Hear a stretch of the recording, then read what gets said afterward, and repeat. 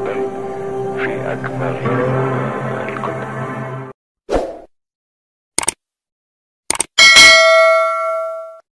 Hello and welcome to People's Voice, where true stories touch deep emotions. Today, we delve into I caught my wife cheating with a real estate agent at our new house, so I divorced her. Come, let's explore these real life stories. I'm a male who is 45 years old and a finance manager at an insurance firm. My wife is 46 years old. Before we got married, she was a part time struggling singer whom I met at a bar one night where she was performing. But she didn't sing well, in fact, the other customers at the bar were making fun of her voice. I stood up for her that night and comforted her, which is how we started dating and ultimately got married in 2018. Throughout our marriage, my wife Saison changed her professions multiple times. Saison was a stunningly beautiful and slim woman, and I considered myself lucky to have her in my life. But, because she was having struggles in her career, she would focus all of her efforts there, and would throw all of the responsibility for household chores on me. Saison was attempting to record songs, so she spent most of her time in a studio and at various events. She was never at home. I had to spend my time alone once I got home from work. She wanted to become well known and release her own records. I reassured her that she didn't need to worry because I was making enough for us to start a family, and that she could get a simple job. She shouted at me and claimed that because I work in the dull profession of finance, I am unable to understand the suffering of an artist. She emotionally bullied me and asked me to invest in her debut album, even though I knew she couldn't make it as a singer and was in denial about it. I still spent some money on her album, since she believed she was a talented musician. Now that you're asking why I did that, I'll explain that people make terrible blunders when they're in love. I was in love with her, and she persuaded me to pay for her album. She established her own studio and released her record, but nothing went well for her. I eventually had to tell her straight out that she was a dreadful singer and lacked talent, and I demanded that I wanted the money back that I spent on her record. She assured me that she would find a way to do it. Then, when COVID 19 arrived in 2020, everything had come to a halt. We were under lockdown at the time. I was working from home, but Saison had fallen into depression due to the lockdown and her unsuccessful career. She also had gained weight due to stress related overeating and insufficient exercise. Despite the fact that I was glad to be with her, I couldn't stand the way her moods would change so quickly. She would dance with me in our lounge at night and wear skirts for me, but throughout the day, she would be constantly crying or talking on Zoom to various acquaintances. We were living in a small flat, therefore, it was hard for me to concentrate on my work as she would either weep or be talking loudly with people. I had harder times with her while we were under lockdown. I was very delighted to rejoin my office once the lockdown was over.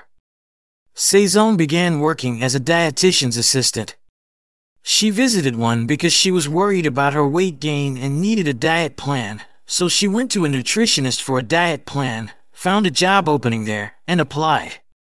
She was making a lot of effort to lose weight, but she was having difficulty doing it. Her concerns about her weight led her to believe that I was having an affair at work, so she worked hard to win my heart. She would prepare delicious meals for me, watch TV with me, and give me gifts of my favorite items. Life was wonderful, and I was content with her presence in my life. Then, I received a piece of the inheritance when my father decided to distribute it, and I decided to use it to invest in a new home. We called the local real estate agent and found a great realtor, Alex. He assisted us in selecting a home within our budget, listened to our needs, and showed us various houses. Whenever Alex invited us to show a property, Saison would spend hours getting ready. I didn't pay much attention to it because weight gain had made her so insecure. Therefore, whenever she had to go someplace, she would put on heavy makeup. Alex had a habit of complimenting us both to lift our spirits, but Saison was genuinely happy to hear those brief remarks. One day, Alex requested us to come to check a double-story house. I called Saison from work to remind her to be ready on time. She answered my call and said Alex had postponed a meeting and we weren't required to go that day. I was surprised because I had received a message from him, but Saison assured me that she had received a call from Alex and that he had canceled today's visit. I was happy to hear that because I had a lot going on at work, but when we met with Alex the next time, his assistant asked me why I hadn't come with Saison the last time. I was surprised to hear that, so I informed him that Alex had called off the meeting. He told me that Saison had come alone to see the house. I was stunned. We returned home, and when I questioned Saison about it, she was so cool about it and claimed she didn't want me to miss work or drive all day, so she took on the task of visiting the house alone. I was delighted to hear this because Saison was concerned about my workload. House hunting was a difficult process, but with Alex's assistance, we eventually bought a lovely home. Saison did all of the packing while I handled all of the paperwork. Afterward, we moved into our new home within a month. Alex had been a great assistance to us throughout this process, so we invited him to dinner at our new house.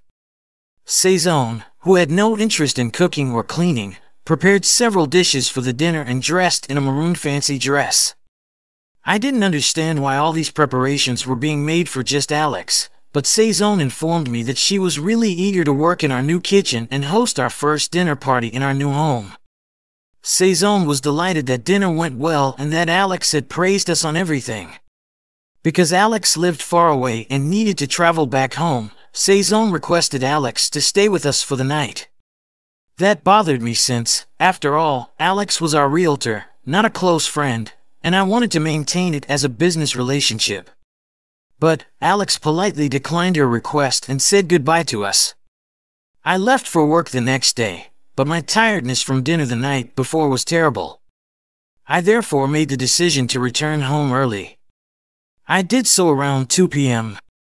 When I reached my house, I used my own keys to enter the door as I assumed Saison would be at work, but as I entered, I was frightened to see Saison and Alex together. They were not expecting me, so they were astounded as well.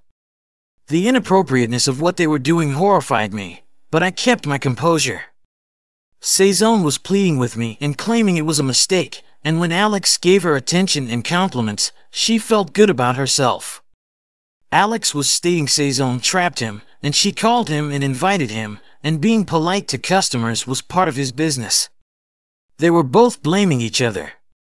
I punched Alex and threw him out of my house. I was shattered, but I didn't show any sympathy to Saison and threw her and her possessions out of my house.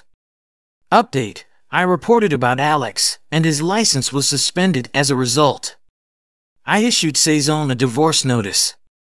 She is depressed and begs me to patch things up because she has nowhere else to go.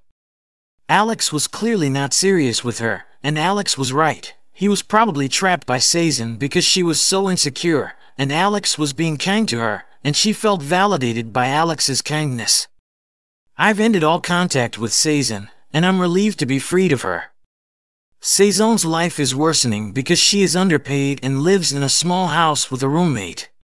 My coworker wants to approach me romantically, but I'm afraid of relationships now. We occasionally meet outside of the office since I don't want to rush things. Kindly provide me with your recommendations regarding my new relationship.